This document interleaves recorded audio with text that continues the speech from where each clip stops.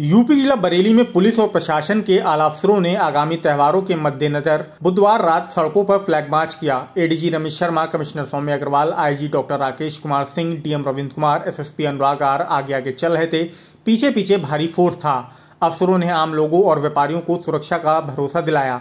वहीं SSP Anurag are जब घोड़े पर सवार होकर फोर्स के साथ बरेली की सड़कों पर निकले तो लोग चौंक गए। पता लगने पर कि त्योहारों से पहले फ्लैग मार्च चल रहा है तो अपनी मंजिलों की ओर रवाना हो गए। आइए आपको भी दिखाते हैं कि एसएसपी किस तरह घोड़े पर सवार होकर बरेली की सड़कों पर गश्त करते हुए निकले।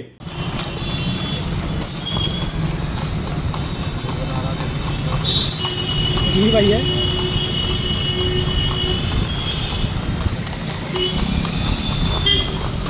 चलो चलो चलो।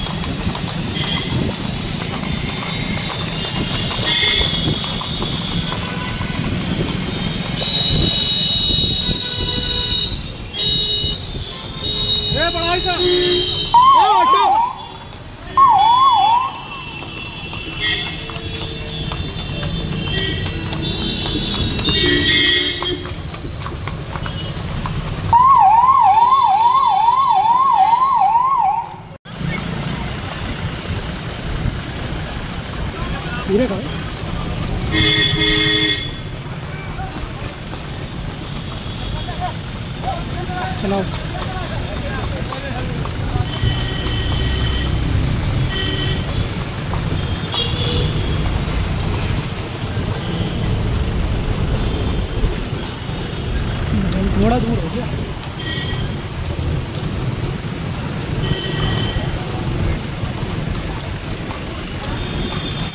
निकाल निकाल निकाल।